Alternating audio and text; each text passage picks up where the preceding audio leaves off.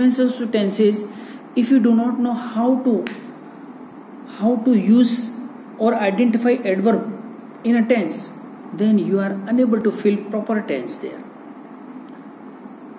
If we learn about all the tenses then each and every tense is their peculiar their special adverb by which you can understand which tense should be filled or which tense is tense it means verb form.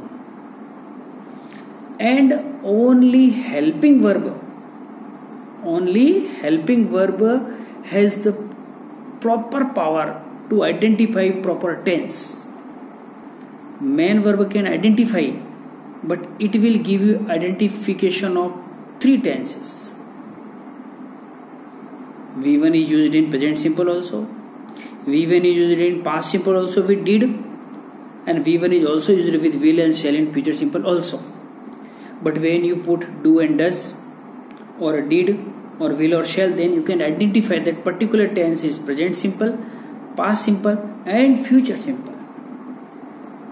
Suppose we come to know about continuous tenses.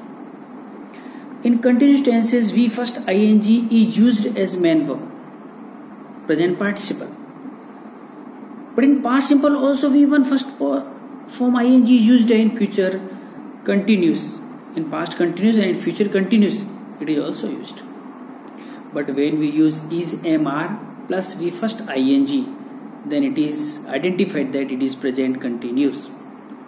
When you use was and were plus v1 first form ing then it is used as past continuous and when you will use will be and shall be plus v1 ing then it will be counted as future continuous but the first we won't talk here because only we have to focus on verb form.